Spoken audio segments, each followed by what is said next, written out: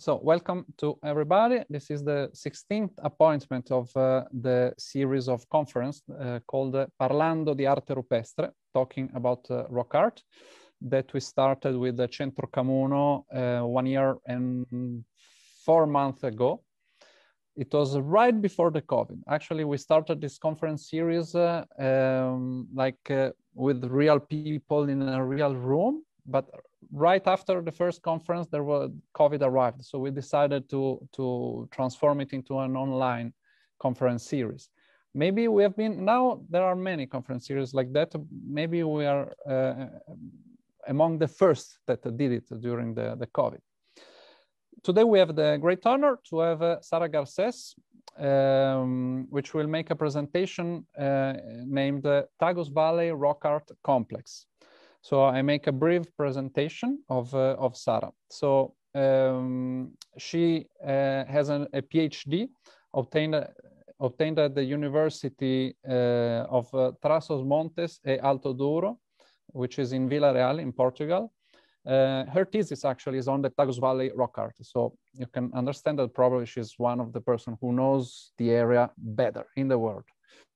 Um, she has a postdoc uh, fellowship in the Polytechnic Institute of uh, Tomar, uh, in the context of which she continued her research in the study of uh, the Tagus Valley rock art and uh, also doing studies uh, on pigment analysis and other topics, of course. she has a wide range of collaborations with many institutes in the, um, in the world uh, Uh, which is the Polytechnic Institute of Tomar, the Geosciences Center, University of Coimbra, the Earth and Memory Institute of Mação, Portugal, and Museum of Prehistoric Art in the Sacred Tagus Valley in Mação. So it's a great honor to have you, Sara Garces. Can you hear us? And yeah. are you ready to start? Yes, thank you very much. Um, first of all, thank you for invitation. Um, I'm, I, am very glad to be here to present uh, the focus of uh, my work in the last few years. And I think it's always very good to present this site because nowadays most of this material is underwater, as you will see. So it's very important for us to know and, and, and to study sites that could that were once uh, extremely important in the territory, but today we cannot um, reach most of this material. Um, I will start by my sharing my my my screen. Yes, perfect. Okay, great.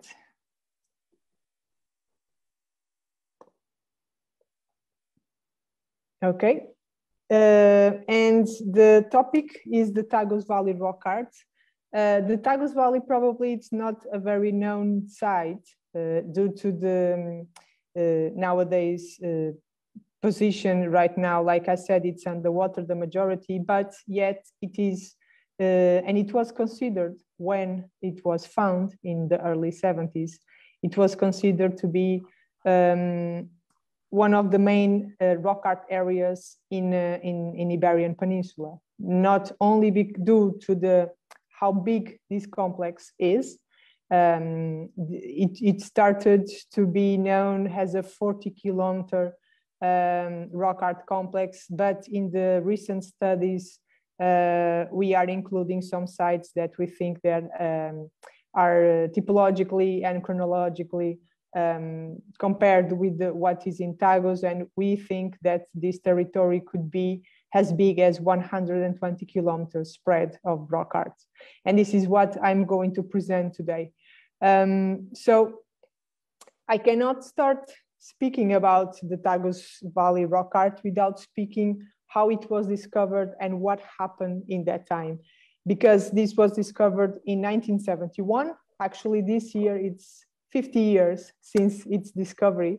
Uh, and and uh, it was discovered a little bit by chance. It was by archaeologists. Archaeologists were in the territory to do um, Paleolithic work uh, in excavations. They were making prospection and they got the tip from a local ethnographer that there were written rocks in the Tagus, in the Tagus uh, bank, schist banks. And they, he asked them to go and, and see. You should come and see some things that are in the, in the river. So actually what they found out was that between the mouth of a small river called Ocreza, which is in the municipality that I'm standing now in Mação, and the border with Spain, we are literally in the center of Portugal, uh, going to the border with Spain uh, in the river, uh, they found out that there were thousands of engravings um, in these 40 kilometers. So uh, they were very shocked and, and they actually found out a gigantic uh, complex of rock art. Um, but there were several problems. First, there was a dam being built uh, in, in the area, and they realized that uh, as soon as the dam would start work, it would put the majority of these sites underwater. Uh, so, and we were still living in a dictatorship, so we could not actually fight to, to save the site or, or ask for many support because it wouldn't happen. What happens is that these group archaeologists, they, they get together, they, they manage a team, and in the next two years, they decide to make uh, documentation work um, as much as they could, because there was the lack of time issue too, as much as they could in these rocks. Um, and it was probably one of the most known uh, rock art works in the Portuguese archaeology um, in, in, in the late uh, 20th century. And it was very, very interesting. This is the territory uh, that we are talking about. The mouth of Ocreza River, it's in this confluence here on the left side um, of, my, of my screen. And along the, the Tagus River until the border with Spain, it's a very big area. This is the first area that was registered in the 70s and they found out that was many sites that were spread along this area. Um, and it was uh, a lot of work. Uh, they got support from mainly um, Calouste Gulbenkian Foundation in Lisbon in terms of uh, money. And they actually managed in the next two years to do field work.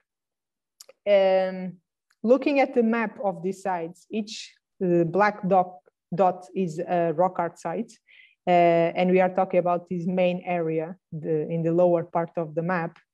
Uh, and we can see three, the, the, the black uh, lines are the dams in the area. So we have three dams that actually are um, influencing all this area. We have the, the Fratel Dam that was being built right here, the, the first one that was being built in the 70s. The one in the, the, the tributary river in the was already built. And in the border with Spain, there's another dam. So what happened is that uh, this complex of rock art is in the middle of two dams. The majority, well, the majority of the rocks are in the middle of two dams. So it would be lost. Um, and they were very concerned with this fact. Uh, and even today, it's uh, we could consider that everything is lost, but today we can visit or visit some rocks in three, three sites. The Ocreza River, the first one here, it's actually the only site that is prepared for visitation.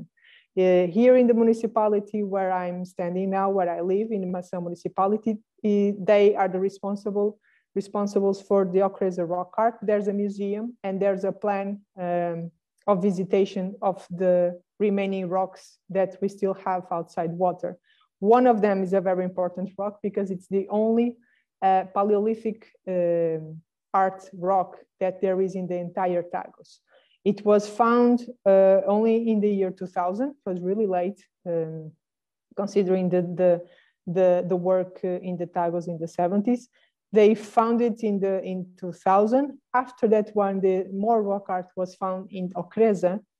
Um, and it actually opened a little bit our idea about how uh, complex and how much typology and the big chronology that Tagus rock art uh, had.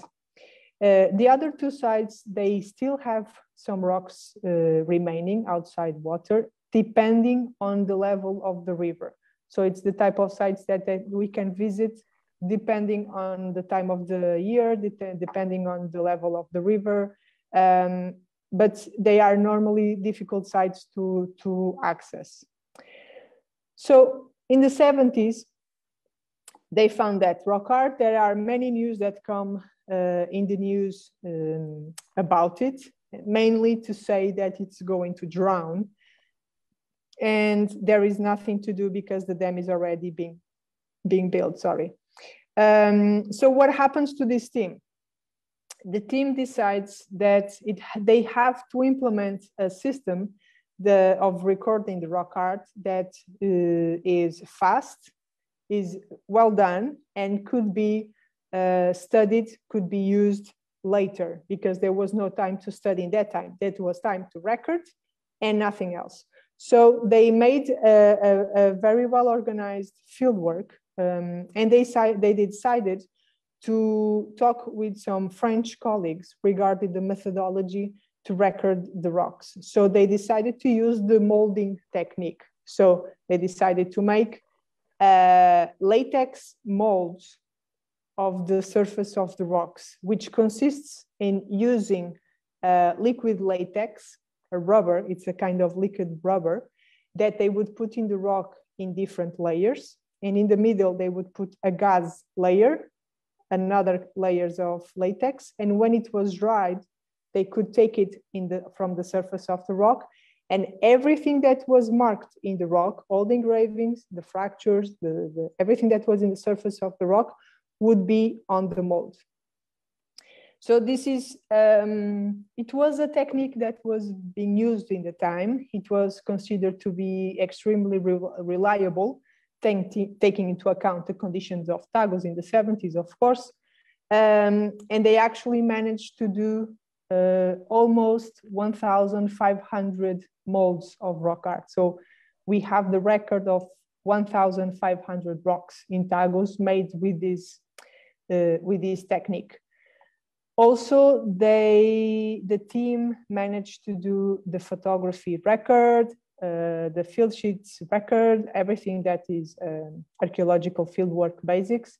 Uh, but the main material actually was this collection of, of the molds.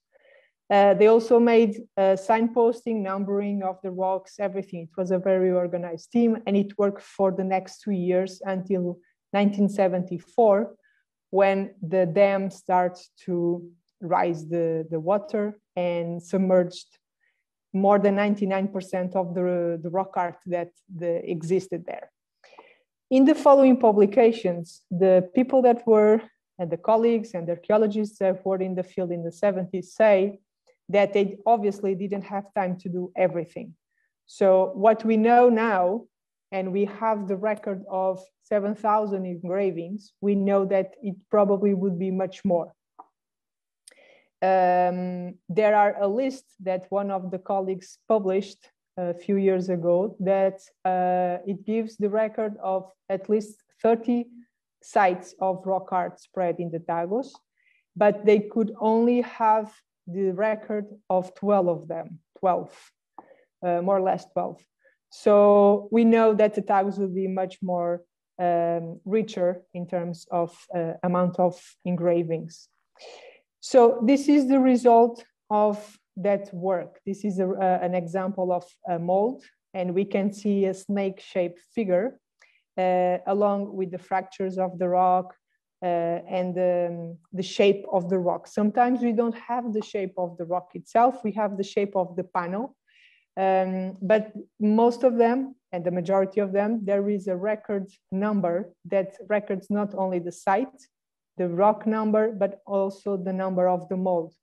So everything, we, we have a very good understanding of how many sites there were, how many rocks there were, and even if they divided the things into panels, uh, we can today understand and make the, the collection of certain panels that would give an entire rock.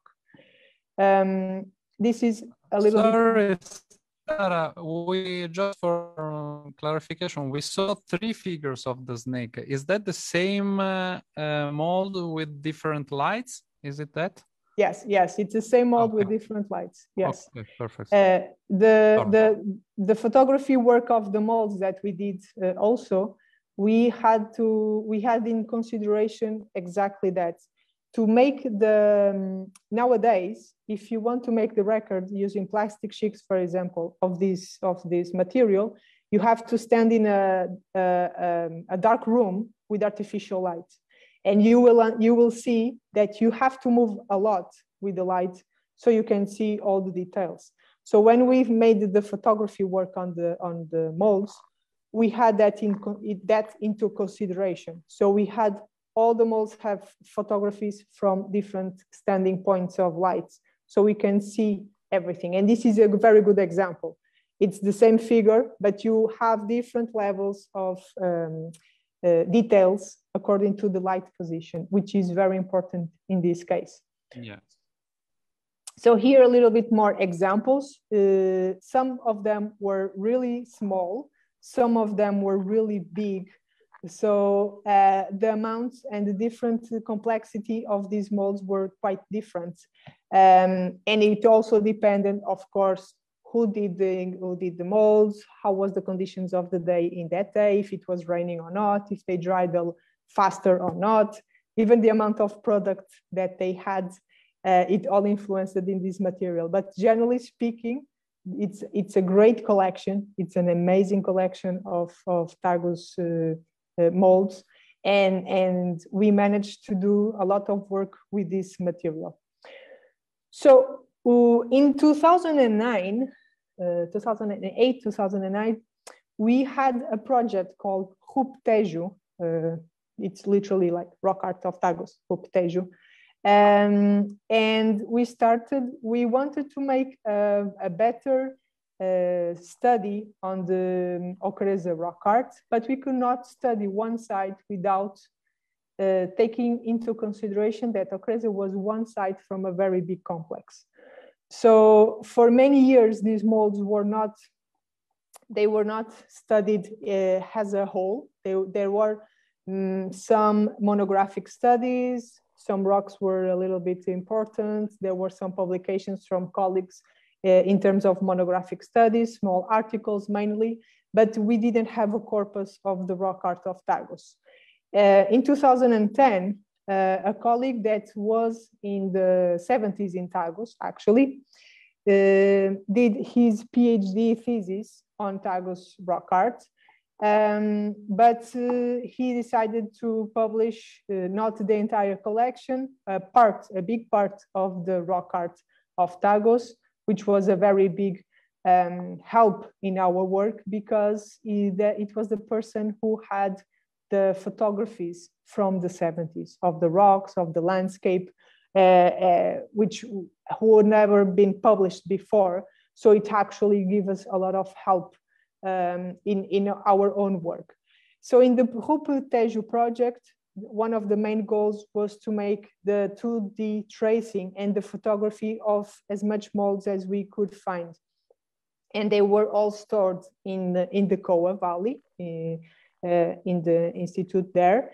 And they were, they came to Mação and for during four years more or less, the team here in Mação were making the tracing of these molds. And we decided to go um, in several ways. We couldn't just choose one way because it could go wrong. So we chose several ways of tracing. We started by doing the two dimension tracing of this material using the plastic sheet uh, uh, method that we all know in Valcamonica um, applied to this material in, in particular. So we had to use a lot of artificial light in dark rooms.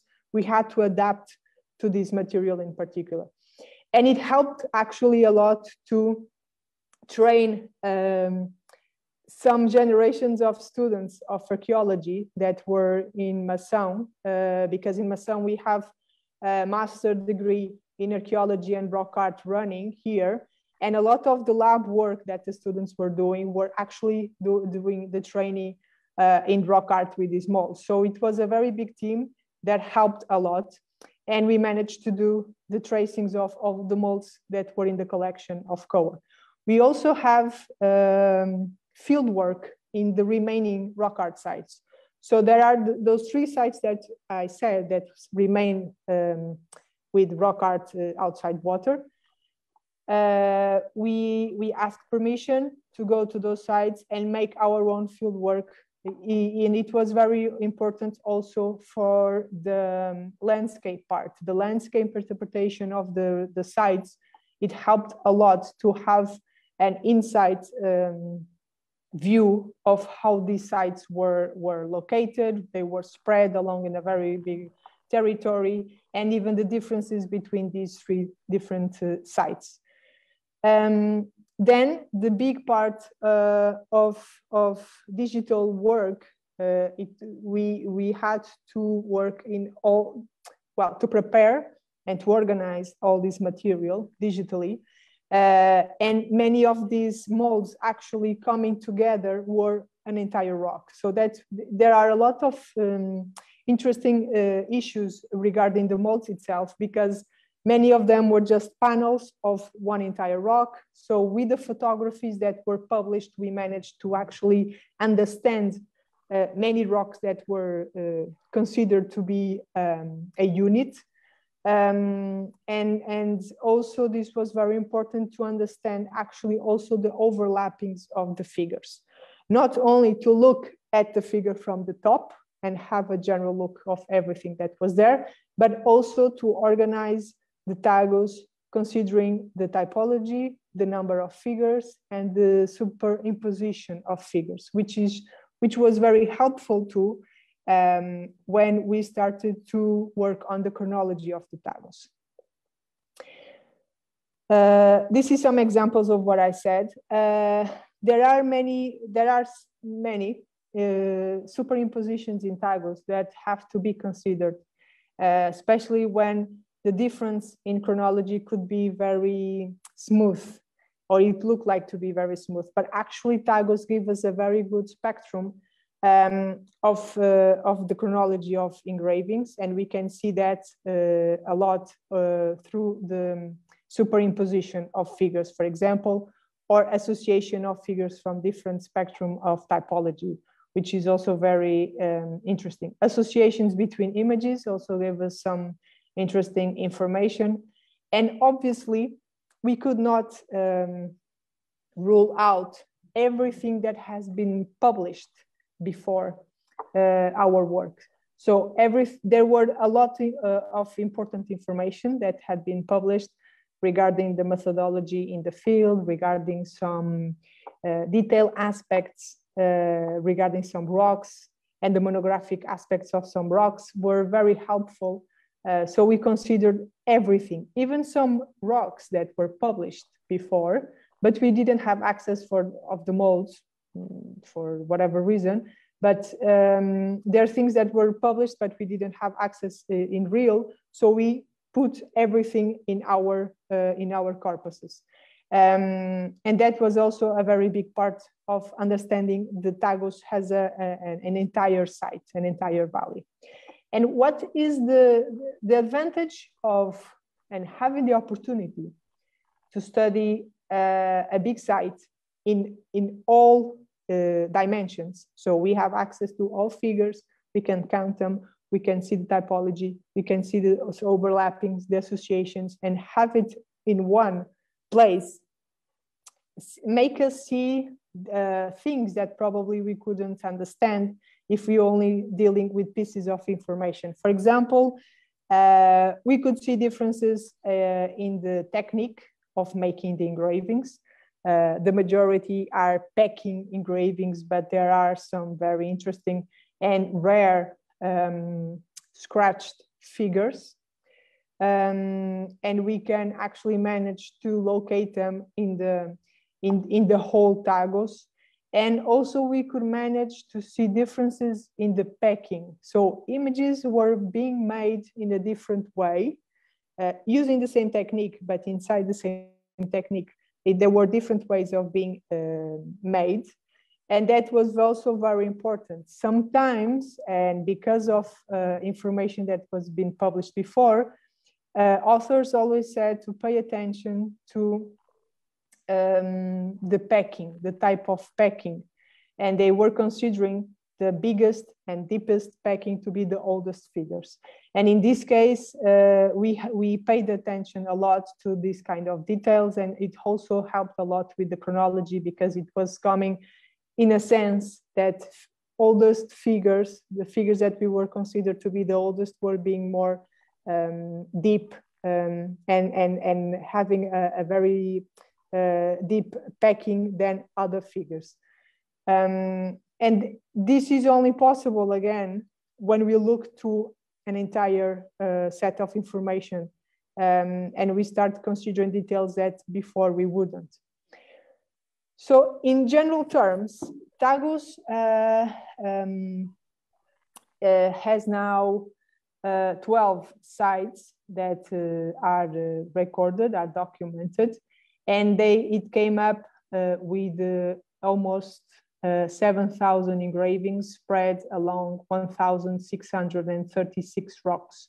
And the big majority of this rock art uh, is uh, what we call or what is known in the Iberian Peninsula as schematic rock art.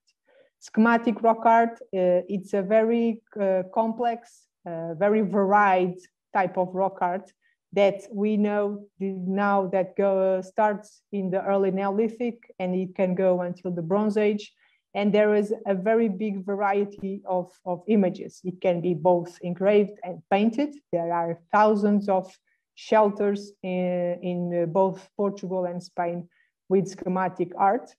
It's very well published, uh, probably mainly in Portuguese and Spanish, but as well at least in these two languages, it's well published. Um, the, the, the main characteristics and if we think in the early works of uh, Henri Breuil in the Iberian Peninsula, we probably will know exactly uh, that his first works were uh, about the, the schematic rock art shelters in Portugal and Spain.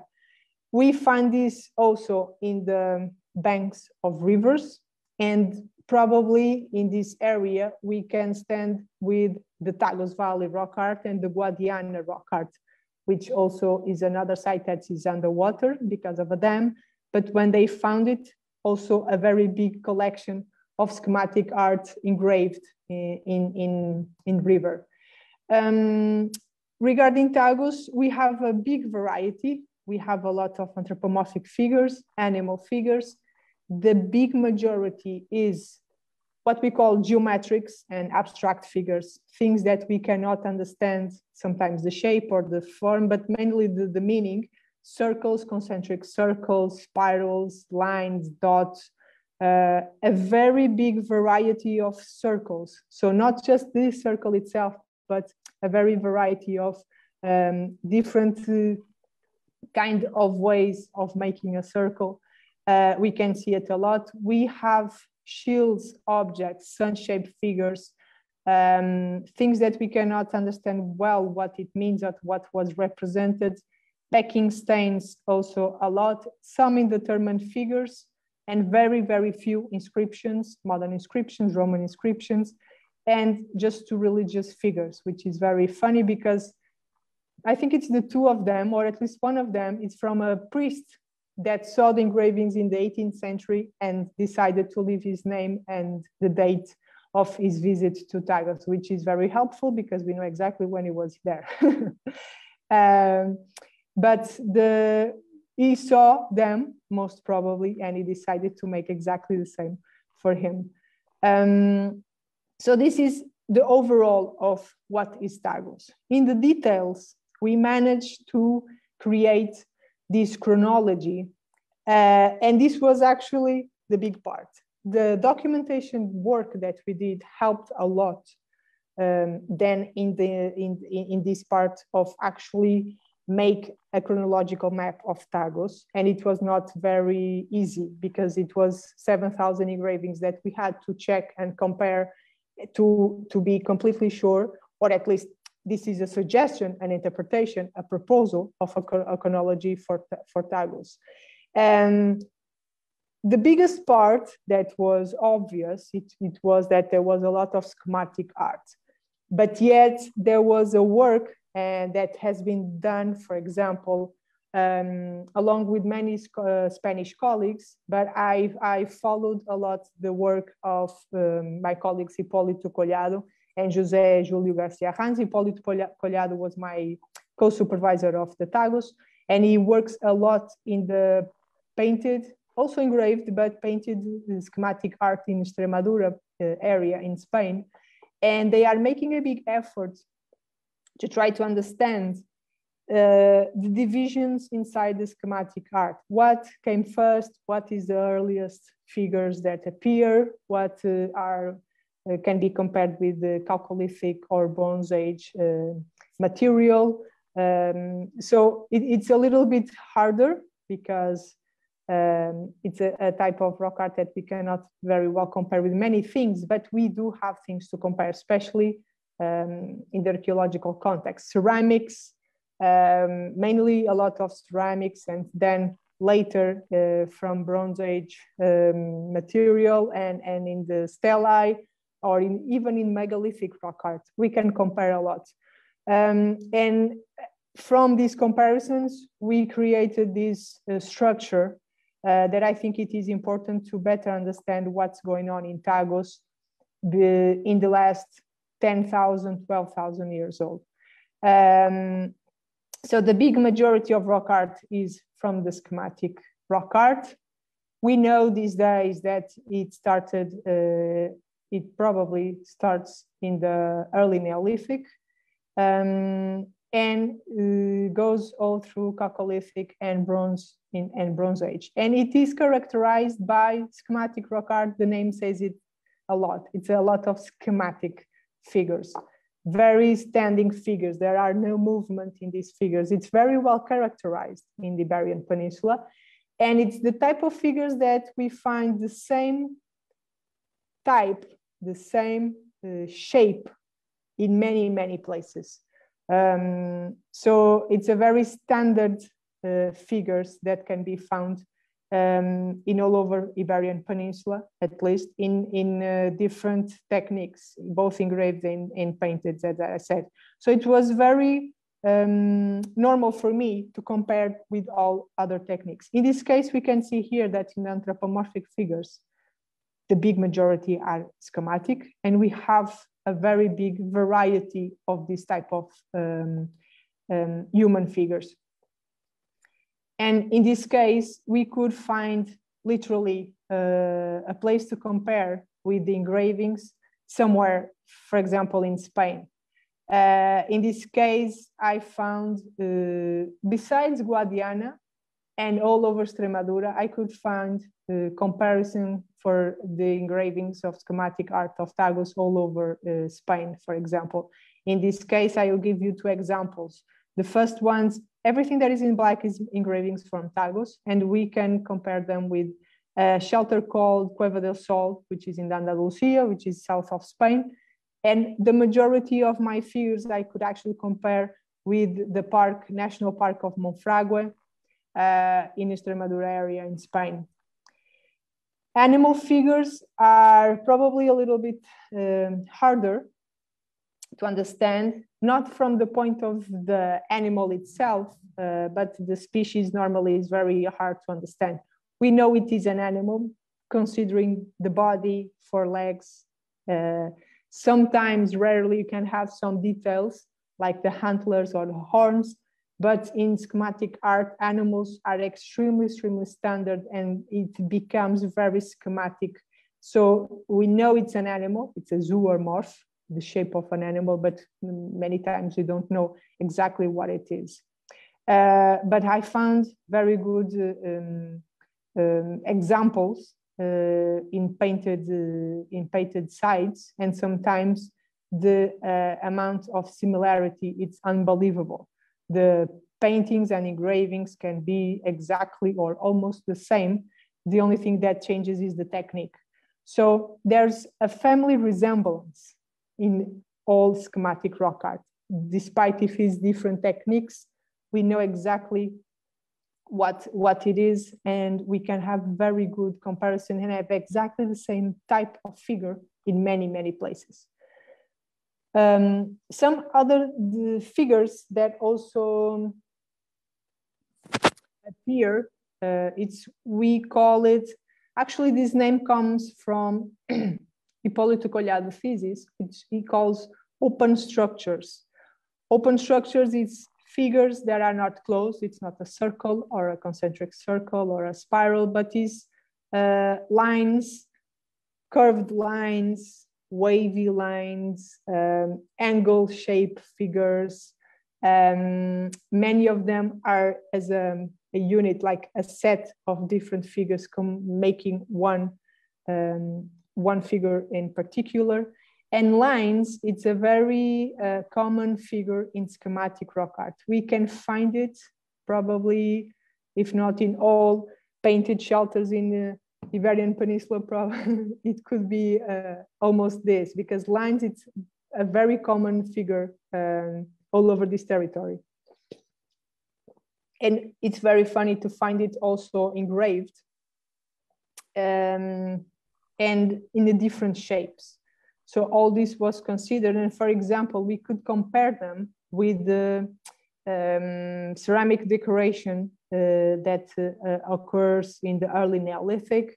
And we uh, consider some of these images, the curvy and wavy lines to be uh, the, the first ones to be um, represented in the schematic art here are some examples of shelters. Uh, Friso del Terror, it's a very famous shelter in Extremadura because it's very in a very dangerous uh, and horrible place to access. And it only has lines. It's unbelievable. Uh, so it's a, it's very easy to to compare these two techniques.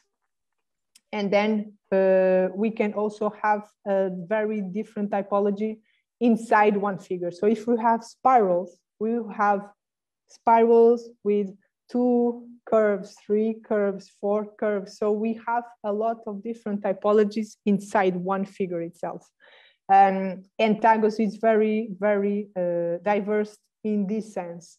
It, it's very rare to have like a figure that only appears once or it only appears in one in, in, in one way. Um, and, and this gives uh, the, uh, the idea of a very chaotic rock. If we see a rock with all the figures, it looks like that is chaos, but there are actually uh, a lot of standard figures there that could be uh, meaning a lot of things. Uh, and when we start to dissect one by one, we can start to see that the variety of Tagus is amazing. And here's some uh, other examples um, of different types of uh, spirals, for example, or circles. The amount of circles that Tagus has and inside the circle figure, the differences, it's amazing. It could be a catalog only about circles, how to make a circle one by one, the basics of Tagus.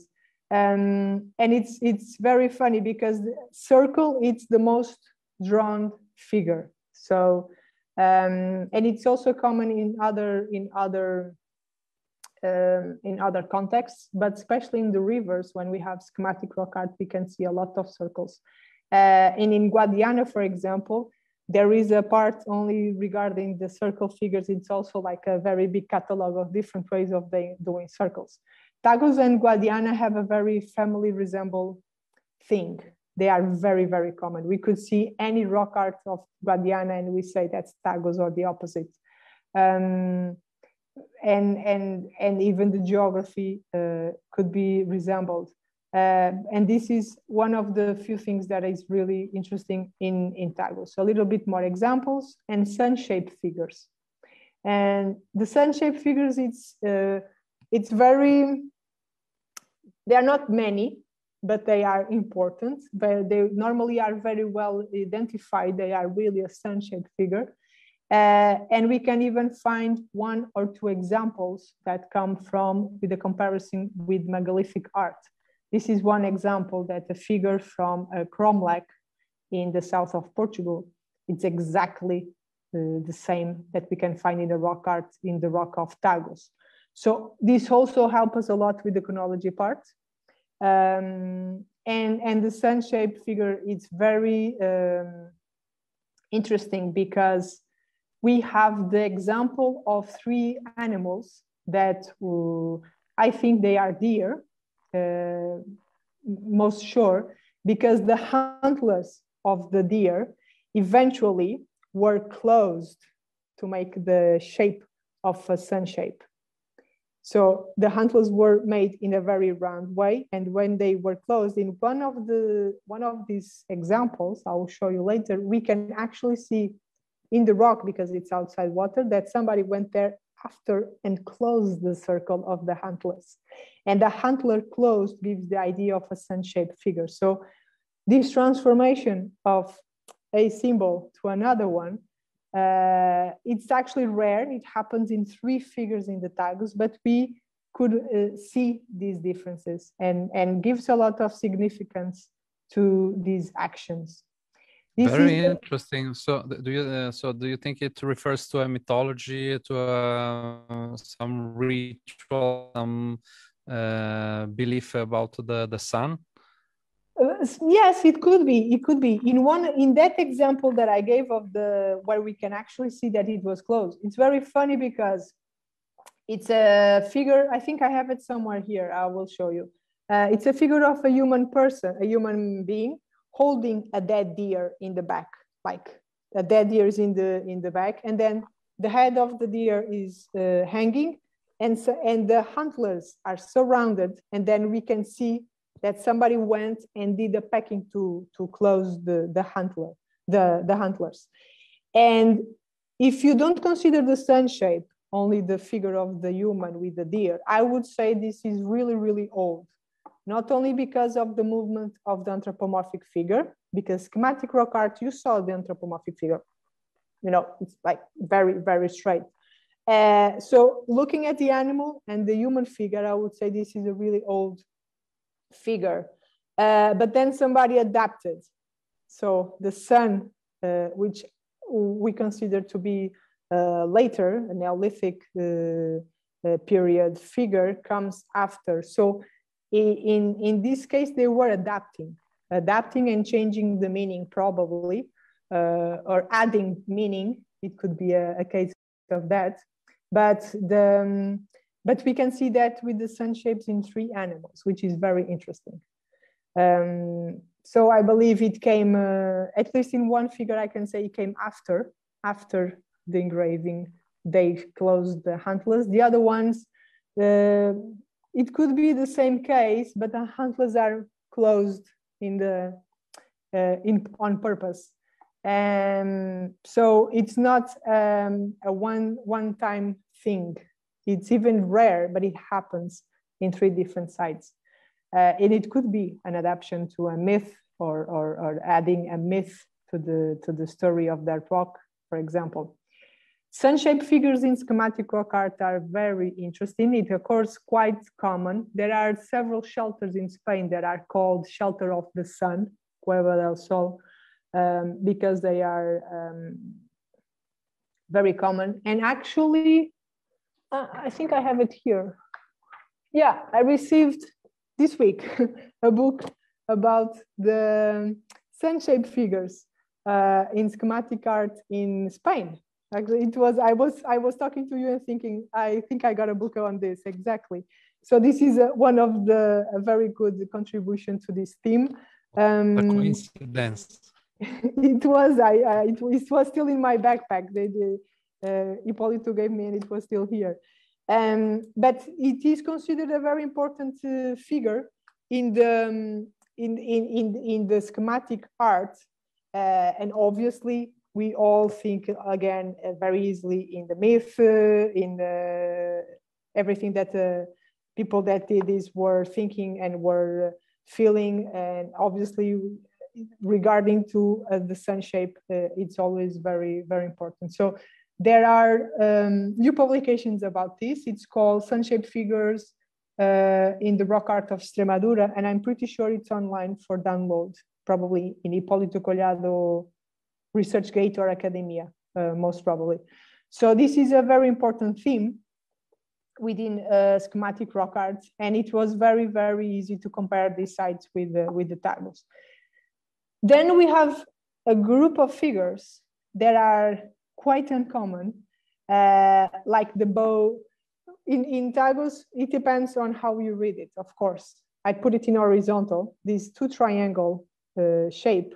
But if we put it in the vertical, for example, like there is in the La Calderita shelter in Spain, they are considered human figures because there are human figures that are two triangulars with uh, arms and, and legs.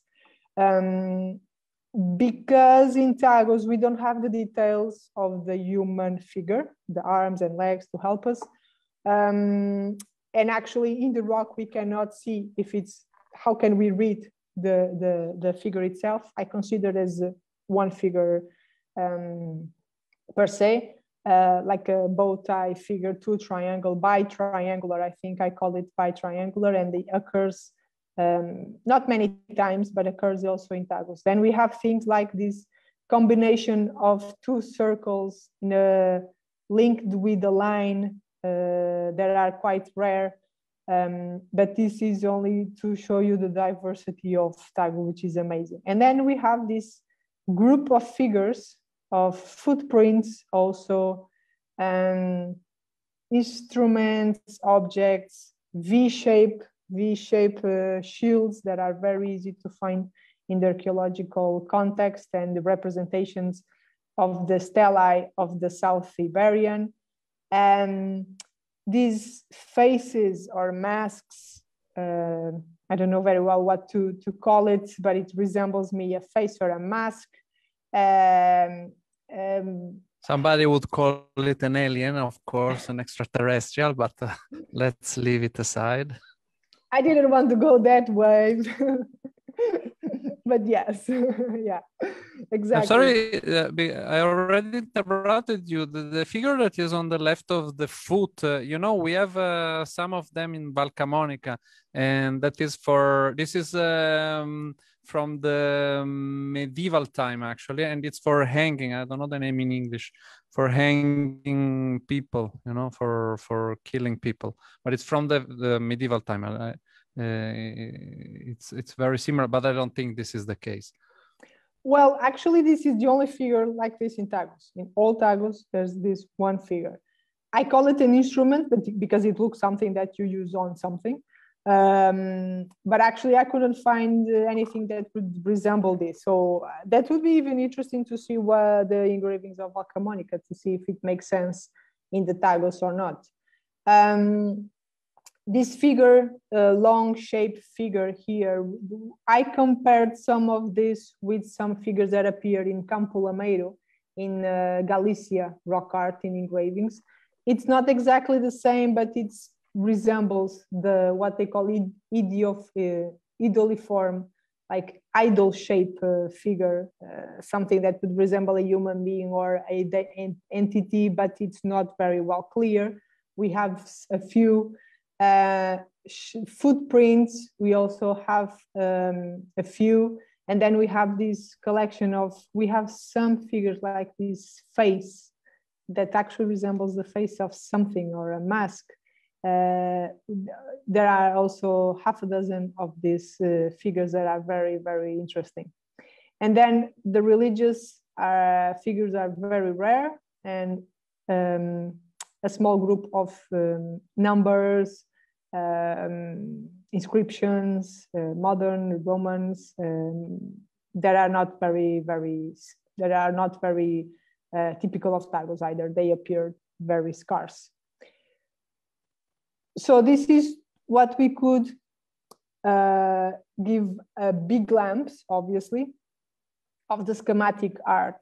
Uh, if then who is a little bit more interested in this theme, I comp we managed to compare probably almost all of the figures, not all of the figures one by one, because for example, a certain anthropomorphic figure, I have 20 or 25, but every shape we managed to compare with other sites uh, to make sure uh, to, to make a strong chronology for Tagus. And that gave a very good, uh, very good results because we could see more and more resemblance with many other sites and be sure of the chronology. But there is a face in, in, in, in Tagus rock art that is very interesting. Um, some years ago, some authors started to speak about the possibility of face in the rock art of Iberian Peninsula. I'm talking about Iberian Peninsula, but this could be anywhere. But in Iberian Peninsula, mainly, the Paleolithic art is very well um, known, organized. There are a lot of, of, of studies uh, regarding that. The schematic rock art also, but not in between. What happens in the Mesolithic times? Uh, and it was not very clear. Uh, and some years ago, some authors started to give some uh, glances of things that could be considered not Paleolithic and then not uh, schematic or Neolithic rock art or anything like that.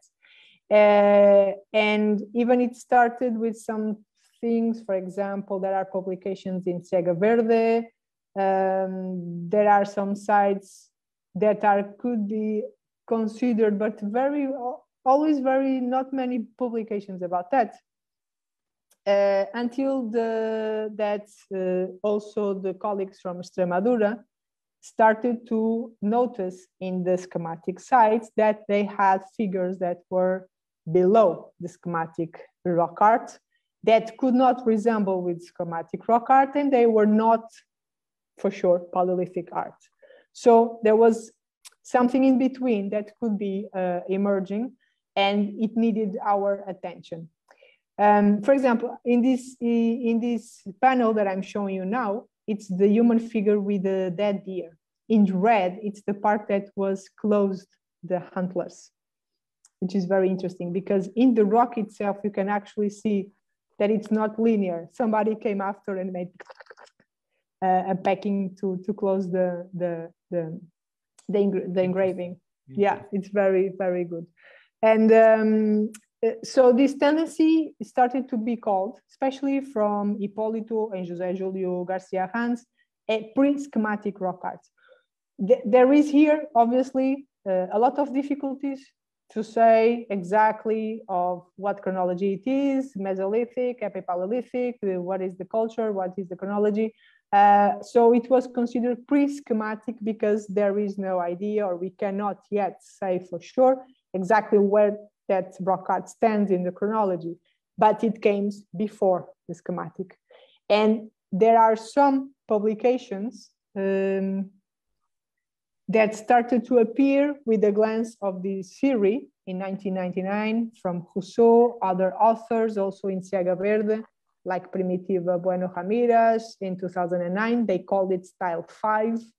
Uh, that was the discussion of the late stage of the Paleolithic art if it was still Paleolithic or not, or if it was something else.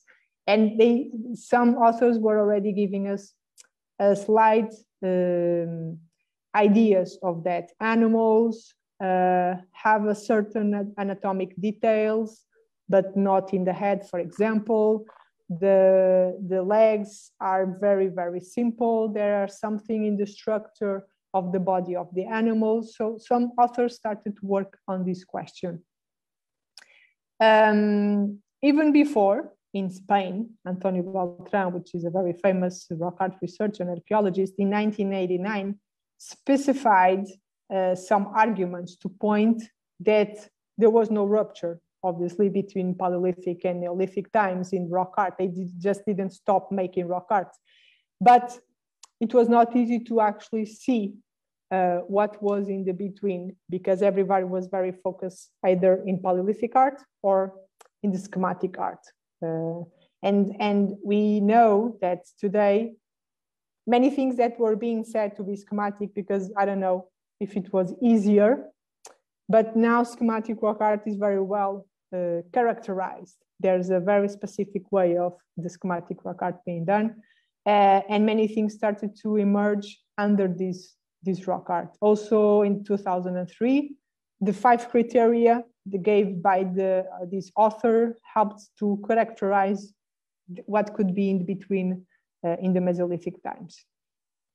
Um, in the study of the Guadiana Valley, um, there are the Portuguese side and the Spanish side. The Spanish side was the thesis of Hipólito, and he already starts by giving uh, give, saying that there are a lot of superimpositions of the schematic art over a type of animals and, and a type of rock art that didn't resemble with the schematic art.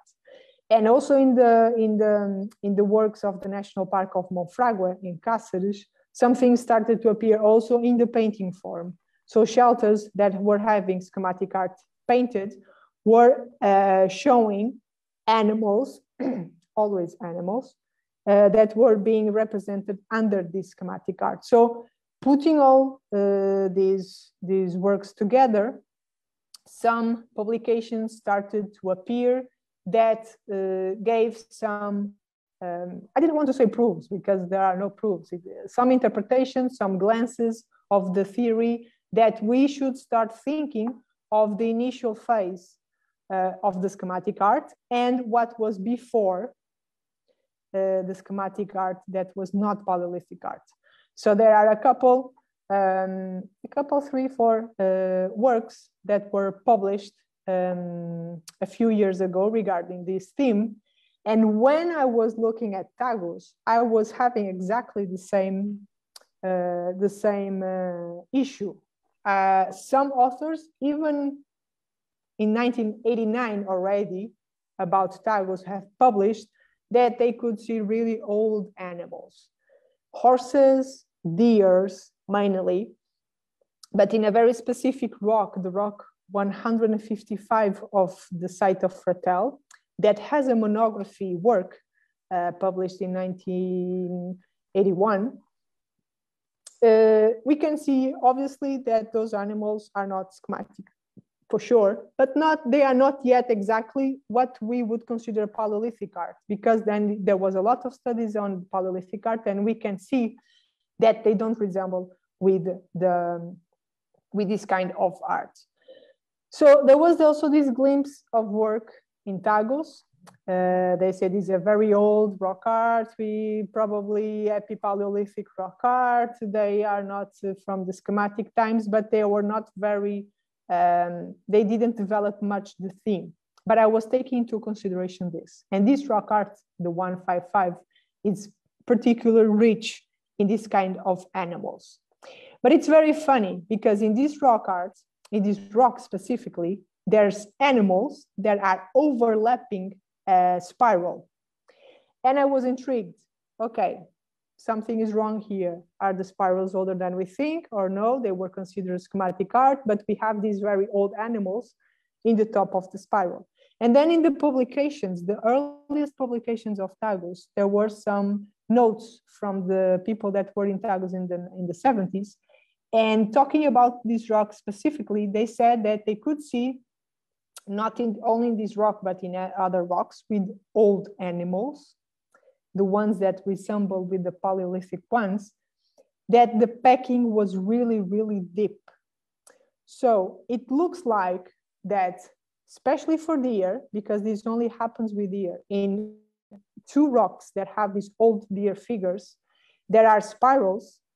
And even uh, if you consider the spirals came after in schematic times, Neolithic, Chalcolithic, whatever, they were repacking still the animals. And this was possible to see in the field. And the archaeologists from the 70s wrote down this information. And we actually can see this in two figures. So there are two examples of animals that are really considered to be the oldest ones in Tagus that have spirals or circles under the antlers or under the body. But in both cases, they say the animals, the deer specifically, was being repacked over and over, which is very, very uh, incredible if we think, because the deer uh, has always stand up as a very important animal in Tagus, and it's this kind of details that gives me a very strong feeling that uh, there was something going on exactly with the figure of the deer. Because the other animals, they were not uh, packed again? From what I could consider, no. I could see these examples in these two figures. Uh, and the deer is the most represented animal in Tagus, and it has a very strong connotation with this Mesolithic phase. Okay, so hunter-gatherer uh, mindset, still and very strong, uh, and very focused on um, on engraving deers in specific. Um, so, considering all our studies in Tagus, uh, we started to consider that a big number of animal representations actually was um, in a chronological cycle that was made before the schematic art. The shape of the uh, bodies, the shape of the antlers, the way they were being represented had absolutely nothing to do with the schematic art uh, and were not connected also with Paleolithic art. Uh, and many of these animals were actually standing in a, in a superimposition uh, level with the figures from the schematic times. These are some the examples of animals that we are considered to be the oldest. The details that they present in the body, the lines in the middle of the body, the S, more or less very smooth S shape of the bodies, for example, here. Um, the fact that some of them present movement which in the schematic art is absolutely doesn't appear, it's not possible. The fact that some of them present arrows stuck in the body. It's very funny because you don't have the anim the human figure, but the human is there because uh, uh, in representation through the spears. Um, Ideal. Exactly. Uh, but the details of the bodies, uh, the lines, the divisions of the bodies, like you saw in the rock 155, like here, all these animals have this uh, net division inside the bodies. Um, and also a lot of work with the superimpositions uh, uh, in Tagus. We have a lot of examples of schematic figures that are overlapping, even if sometimes it's just a little bit. The superimposition sometimes very subtle, but it's there. Um, and this is the case, the first figure here, the first, the, the, uh, it's the case of the deer that has a spiral under the antler, as you can see, even if it has circles in the top of it. So this is the second example that I found. Um, uh, I think there are two or three examples of animals that are repacked over time, uh, even after schematic art was, was there and more examples. Overlappings are a very big, uh, there are several examples in Tagus. Sometimes they are very subtle, but they are there. If we analyze carefully, uh, we will find out that there are a majority or a big, big, many animals that are uh, Uh, overlapped by schematic arts.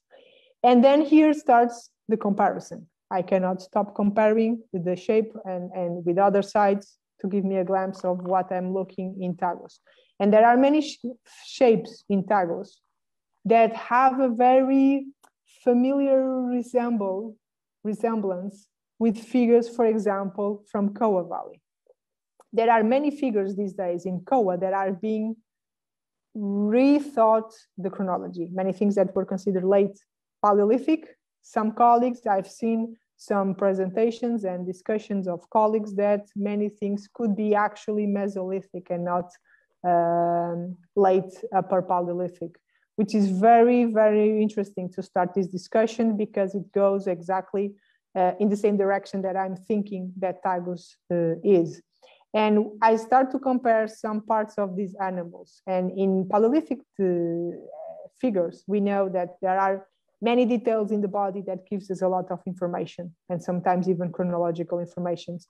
And I start to see some uh, similarities between animals of Tagus and animals in Coa. Uh, for example, these ones in below, the right one is Tagus, and you can see details in the legs and the movement of looking behind that we can see also in Coa. We have several figures of deer that only the head is represented. Um, and in Coa, that's also a very specific characteristic of some deer figures, especially in Penascosa. Um, some goats that have a very specific way of drawing the, the body, I could see similarities. I'm not saying exactly the same, obviously, but similarities and the deer from Tagus that has some strong similarities to with the body of uh, actually dated figures from uh, Ojo Guareña cave in Spain. It's a, a black figures that were actually C14 dated. Um, and they came up as early Mesolithic uh, dated. Um, I could see resemblings in many other sites. The figures that are overlapped in the Spain uh, shelters of the uh, of Hipólito, and then a very well. Some some people could say I could be exaggerating or not, but actually I can see many resemble things with a style that happens in the um, east part of Iberian Peninsula called Levantine rock art. I don't know if you ever heard about Levantine rock art. It's a very specific uh, style that happens in the, the Levantine area of, the, of Spain. Uh, it has very uh, strong characteristics, very typical characteristics, a lot of movement, a lot of animals, a lot of hunting scenes. Uh, there are a big discussion still about the chronology. Um, if it's only Mesolithic or not, if it's already in the Mesolithic times, it's both. There's a lot of discussion on the chronology, but I found out uh, a lot of um, similarities too with some animals in Tagus, in the shape of the animals, in the way they are organized. Uh, and many times the problem of uh, talking about the chronologies uh, and comparing rock art is the problem of people giving geographic names to rock art. If we say Levantine rock art, we cannot think of that type of rock art outside that area, but it could actually happen. Um, but it's a big problem in many times, not only give chronological terms to rock art, geographic terms to rock art. It's, it's a discussion that uh, is being made too, and it, it has to be um, more emphasized. But I saw many resembling um, of figures of Tagus, uh, and uh, and I know there are these kind of figures painted in shelters in in Spain um, that could be considered also really really old. And and then I did something very. Uh, it was fun to because I noticed that these figures had things that in schematic art that never happens, which is movement. And I tried to compare with actually uh, animals and, and the behavior of animals. Regarding the, the, the study that I did for the deer figures, it was very funny because I had to study a little bit about the behavior of the deer to understand a lot of things that were going on on Tagus, how they were organizing that figure in particular. Um, and that study helped me to say, yes, I believe that this animal is being really uh, they were paying attention more to this animal than probably other one. I don't know if he, they were eating it as represented. They was representing what they were eating more or not. The archaeological context, um, it's a little bit confusing, but I think in Mesolithic times, yes. Uh, but in any case, in the symbolic point of view, uh, they were paying attention to this animal and paying attention to the behavior and the way they represented it. It was also very funny. Regarding the anthropomorphic figures of this time, it's very difficult. Uh, we could say that there are no anthropomorphic figures because it's uh, it's very rare, which actually it is. But there are this set of anthropomorphic figures in Tagus that don't match with anything that is supposed to be a schematic rock art. And sometimes this also um, appears uh, in uh, overlappings, but I believe these probably were the first anthropomorphic figures to be represented in Tagus. The chronology, it's very hard to say. We can point some comparisons comparisons to the early Neolithic um, period, comparing with macroschematic art, with pebbles that were dated from the early Neolithic in Spain, with early Neolithic ceramic. Uh, we did a lot of comparison of this time of these um, examples, but this is as much as we can go now. I can say, uh, and being a little bit sure about that, they are the oldest uh, anthropomorphic figures in Tagus. I cannot say yet from exactly which time they are, but I can say there are very good terms to compare with uh, early Neolithic uh, material that was actually dated and it's in an excavation uh, record. Um, but they are also very, very strange and completely different from all the schematic uh, output of anthropomorphic figures in Tagus.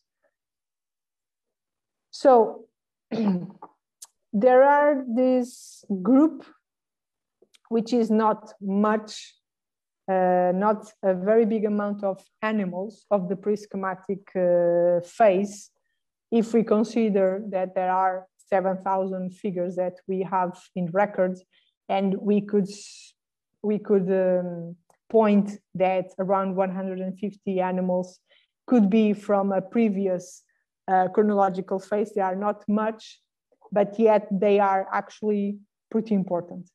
Um, not only because there is the, the, the, question of why the animal, the, the deer figure here stands out as the important animal uh, in the symbolic framework of, of those peoples, uh, but also because it actually starts a debate on a certain type of rock art that uh, I think in the future will be uh, one of the big debates in rock art in Iberian Peninsula to start to, to um, pay more attention to a specific chronological period that has never been um, very well studied or, or developed. Um, there are three sites that in Tagus stand out as the most complex. When I say most complex, also because they have the biggest amount of rocks in one area. Okay, so um, and after this work, it was very funny because all everybody, because there was no corpuses of rock art, there was no big view uh, of the entire site. Um, it was believed that Fratel, which is a very important site, was the site with most of the rocks uh, combined in Tagus. And we actually found out that no, it was not Fratel, it was another site that looked like more dispersed, but had more figures than any of the other sites. Uh, and these, in these three sites that have more figures in Tagus, uh, the topography name, it's very funny because the three of them are called Cachão. Cachão de São Simão, Cachão do Boi, e Cachão do Algarve. Cachão in Portugal, in the topography, means the part of the river that is most dangerous there are more rapids, the water is very dangerous. Uh, so, and it's the in the these topographic names that we have more concentration of rock art. So this is also what I want to develop a little bit in the future, which is to uh, take in all this information, which is a lot now, and start to point it also in the landscape studies, because the distribution of the sites, the distribution of the figures, I think they are very well connected with the topographic and geographic um, assets in the last and in the landscape. And I think this could be a very good study in the future uh, because Tagus is giving me some very um, interesting informations about, about this. And to end my presentation, this is the only Paleolithic art figure that we have in all Tagus. It's located in the Ocreza River. It's visitable if you wish to visit the Rock Art Museum of Tagus of Mação, we can make a visit to, to this site. But it's indeed the only one figure that uh, it's of the Paleolithic characteristics. Um, we are yet to try to find if it's lack of uh, finding more of they existed and disappeared or if yet or if it, it is on purpose if it's only one and that's it we cannot answer that now uh, i hope we can answer that in the future um, for those who are interested the corpus of the rock art of Tagus is published and available online in this website institutoterramemoria.org in the publications part uh, you can find the entire corpus uh, with the, the 7,000 engravings. And if you are interested in a couple of other uh, studies regarding the Tagus rock art, you can find it on ResearchGate uh, on my page. And you're welcome to download anything you want. Wonderful. Thank you. Wonderful. Thank you. Thank you very much. Fantastic. Actually, I recognized, so by memory, I remember that we have here in the library of the Centro Camuno, we have the Arkeos book with the a figura do cervídeo na, uh, na arte da, well, in Portuguese, my Portuguese is very bad, so the figure of the cervid in the in the, the of Tagus, yes. Yeah, exactly. So uh, I remember we have that uh, that book here. So for those who, who are curious and pass by the, the center, they can they can have a look uh, of that uh, of that book, or they can go online and buy it online, or they can have a look before buying. exactly. Uh, well, either they, of them. Thank are... you very much. You you can what they are on on. They are for free download if uh, Perfect. somebody so, wants. So you have all the ways uh, that you want for for consulting them. Yeah. Uh, thank you, Sara Garces. It was a, a very, very interesting presentation. Uh, I I have to admit that I I forgot about this uh, site. So thank you because uh, I have a me uh, a better understanding, and uh, of course all the people that that follow the the presentation. Um, probably the the the Foz Coa, it's uh, it's like uh, well i studied more paleolithic so probably that's that's also why i, I knew less uh, about this one. Uh, so you have um, of course many people that are thanking you on, on facebook. We have uh, one question that i'm reading you uh, right now. Um, so arun is asking were there any effort from your side uh, to recreate uh, that art using natural stone tools on similar surfaces uh, in order to understand uh, uh, how to do small image or a panel etc to understand the time like to do it uh, so did, did did do you have knowledge of some experiment uh, like that uh, concerning your area because there are many areas well, actually, actually, yes. Well, first of all, hello, Arun. nice to, to see you again. Um, we did, uh, this was the concern of uh, a student that we had uh, some years ago that did a master dissertation of one of the sites of Tagus. And he was very interesting, interested in the technology of rock art. So there are there is actually a master dissertation from Neemias Santos da Rosa. I can uh, I can write down after the comment of Arun that makes um, a technological approach to the engravings of Tagus. He actually did experimentation. He explains all the process in the in the in the dissertation, and uh, we could actually um, make uh, similar figures with different tools, different times, uh, and he had very very interesting considerations about that in the in the final uh, work. Um, and to give a more better idea of what time what what type of tools people were using to do the rock art. So yes, there is at least one master dissertation and uh, um, uh, an article published, I think it's in my research gate too about that. And even did the PhD after in the technology of rock art regarding Levantine rock art. Um, so there are a couple of studies, but regarding Tagus, we we we have that we have those that could be um, could be uh, used. Fantastic, thank you. Uh, so we have a question that uh, really pushes uh, your hermeneutic uh, approach. So let's see how you you you read you you you get it.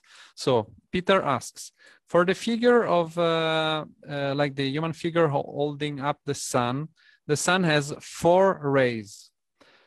might that relate to the sun as an animal like in the image of the anthropomorph holding the deer? Oh no, maybe no. So I don't know the first figure, uh, which is the ah, first figure yes, Peter first, refers to. Yeah, the first figure is uh, the one that looks like it has the same one in the megalithic sites. Uh, remember this? Mm -hmm.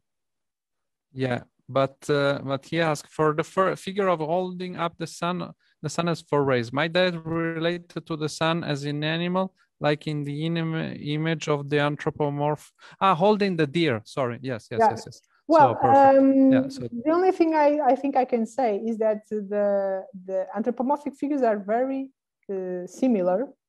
The only difference that one holds a sun and the other a deer. Uh, so the similar thing here is the, the position and the act of holding something that is being replicated, but yet with different figures, which is very interesting.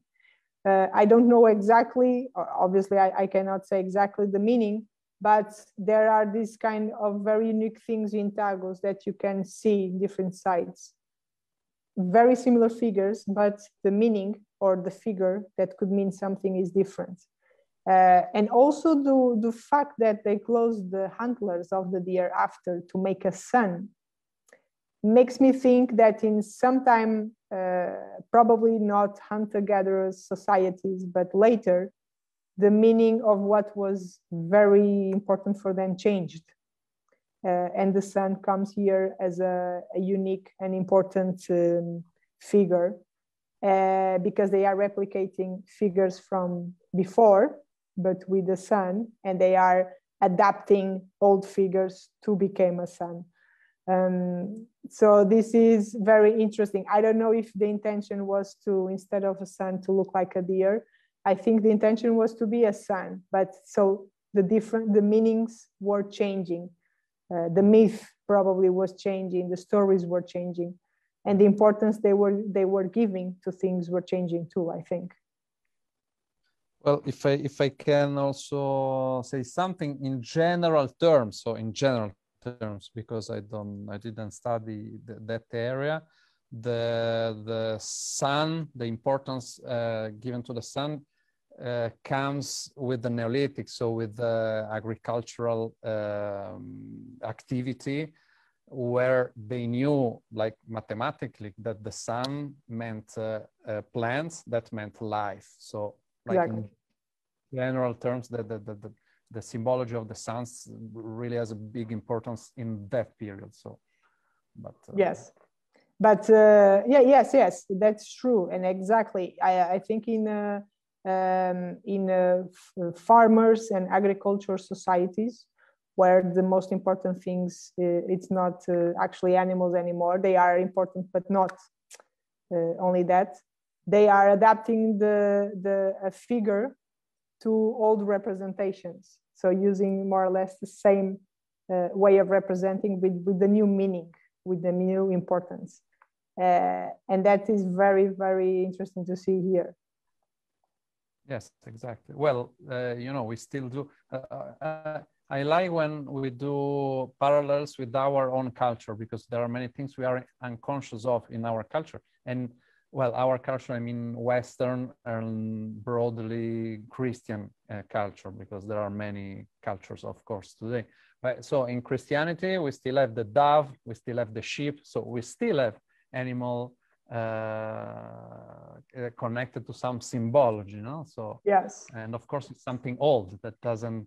We don't have sheep in our daily life. We don't see doves, if not with the magician that takes it from the so, so of it course, depends. The, the it depends. I still have sheep. I see a lot here. yes, yes, of course. In the place I live, we still have a lot of sheep. yes, of course. uh, I I had a, I had a question because um, uh, so you, you said now uh, most of the engravings are underwater, but so I had a question like a natural question. Is it still possible to go and see them like with the with the mask doing? Uh, uh, okay, I will reply. Yeah, this is a very good question because I have news for all of you. Well, um, well, there are a few things I can say. Most there's a lot of the sites that no, you cannot attend. Uh, there's we don't know very well uh, how high is the river there, but we know it's a very deep part of the river. I can say that in 2011, it was a year that didn't rain much in Portugal. And I, visit, I visited one of the sites that was always underwater. And in that year, I could see engravings outside water. Oh. Um, yeah, so it was but it was a very because and, the water was down. Yes, the water was really really down. Uh, I was not expecting that. We went to the site to collect a sample of the schist to analyze, and we saw a lot of engravings, which was amazing. But it didn't last long because as soon as the river went up to the normal level, uh, it disappeared. So we could see, we saw engravings that were underwater for 40 years. They were in a good conservation state, uh, I can say, but for me to see that in a, when the, the water level goes down, it means they were in a higher part of the river. So I don't know the conservation state of figures that are really deep in the in the river. So, um, so no one tried to go down with the with the mask. With no. Uh, diving in rivers, especially between two dams, I am pretty sure is really dangerous, dangerous. expensive yeah. and dangerous. uh, but um, we had a project this year called Promuseus that was financed by the Portuguese network of museums and taking the work that we did in Tagus with the, the, recording, with the documentation, the drawings, the figures, everything, we managed to recreate in, um, in um, uh, virtual reality the ro some rocks of the Tagus. So right now, and we opened this new exhibition in the museum uh, a month ago, we can actually show the rock with the, all the deers and the horse, the one really old, the 155 of Fratel. We can show uh, a representation uh, of the environment uh, in the river and, and the rock itself um, in 3D with virtual glasses. So it's not the same, but 50 years after that rock going underwater, we can actually see it in virtual reality, uh, which is a big step yeah. because it it actually this was a trial. I mean, I, I consider it a trial project. It was a great project, still is. We have we are working now in, in more rocks to to recreate in 3D.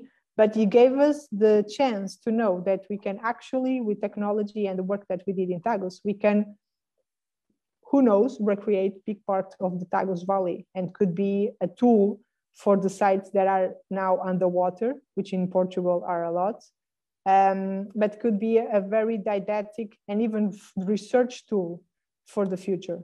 Of course. Do you have the documentation about the, the when they were doing the molds in the 70s? So do you have the exact orientation also, I imagine? Well, so uh, there's a part of the information that I, I yeah, yes, yes, I had I, I had access to. There, there is a part of that documentation that is published. So in the first uh, PhD uh, work that was published by the the researcher that was there in the 70s, he didn't have all the rocks published, but some of most of what he had had actually information about the orientation, inclination of the rocks, the in the 80s or 90s there were some topographic maps that were published i think two or three from different sites so actually our work was picking pieces. Uh, Tagus were, is in pieces and we were picking all these pieces to try to get together as much as information as we could.